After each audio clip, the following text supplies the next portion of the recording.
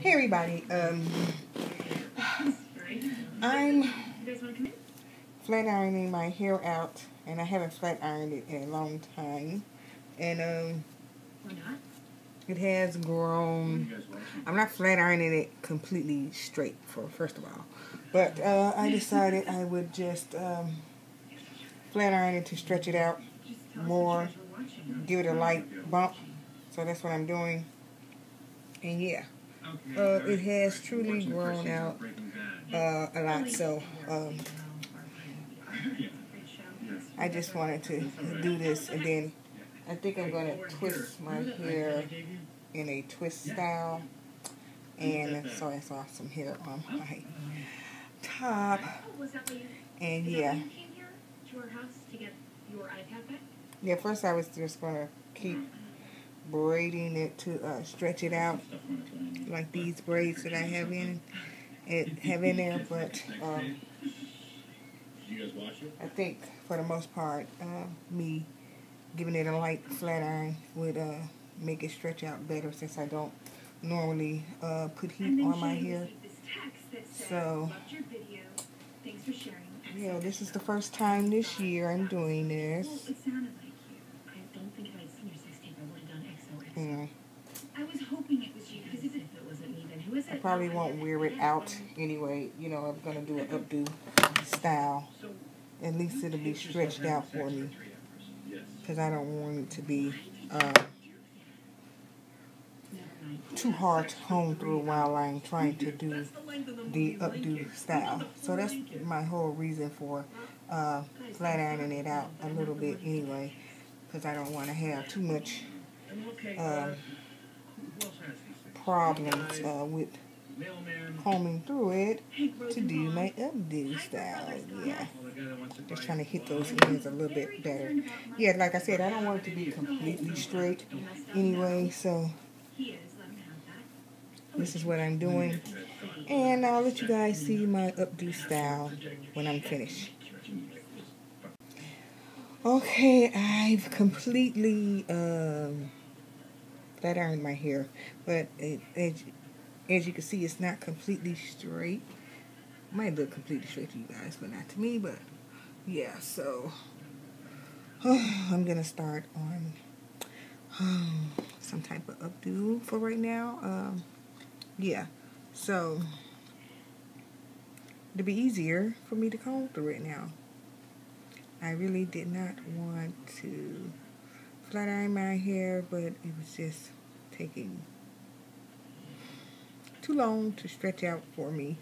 And the top of my hair um, was very hard to comb through, and I didn't want to experience uh, any hair breakage in the top because I had experienced hair breakage in the top before, and I didn't want that to happen again. So I decided to just straighten it out. Um, some, wherefore um, it won't just be breaking off in the top of my head.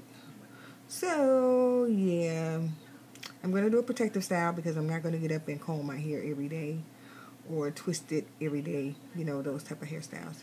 So I'll get back with you. I'm not going to do a tutorial on how I do it. I'm just going to do it and then I'll show you the hairstyle, okay? Bye. Hey everybody, now this is the updo style that I made with my own natural hair. So it wasn't that hard to do. So I'm going to show it to you.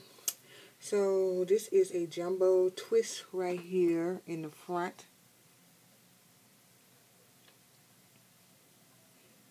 You see my hair still has texture to it.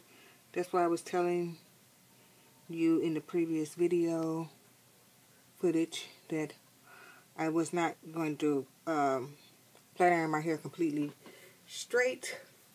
And uh, right here, there's a jumbo braid. It's not tight. I just did it very loosely. And in the back, let me move something out the way so I can turn around. There's a braid going up the back. Uh -oh.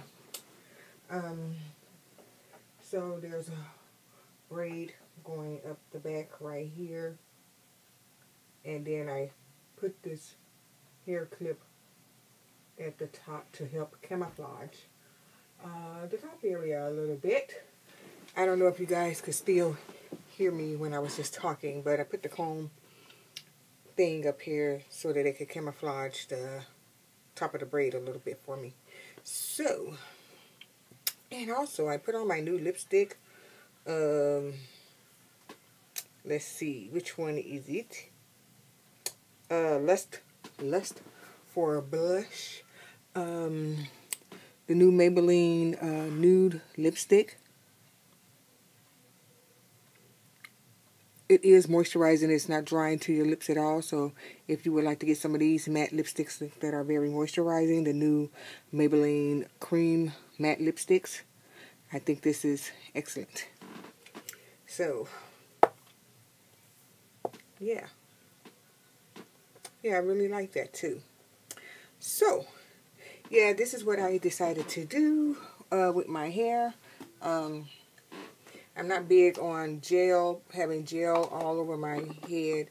I had uh, made myself a ponytail and I put gel on my hair to mold it going up and it was horrible, okay? I don't know why it was horrible, but I was not feeling it, so I took it down, and I don't know if you remember from a previous haul that I did, I showed you guys this curly uh, Lazy Day ponytail that I bought for my Lazy Days. I didn't feel like doing my hair. Uh, so I uh, had purchased that, and it was, wasn't I don't know, I, I just wasn't feeling that hairstyle on me too. And plus the gel took all day to dry. I was like, uh, I can't do this because I did not want to sit on the dryer. I even let it dry overnight and it still was real, real wet. And I could not take it anymore. Alright guys, so I'm to talk to you guys later. Um, I'm trying to see if I'm also feeling this hairstyle I've made myself. You know, when you uh, come out of wearing your wigs and units and stuff and you go back to wearing your natural hair, you have to get used to the way that you look with your natural hair all over again. And plus, I needed to put it in a style wherefore I would not have to worry about um, doing my hair every single morning before I go to work. So, I just did this... Uh, updo style for now. So I'll talk to you guys later in the next video. Thanks for watching, and I'll talk to you guys later. Bye.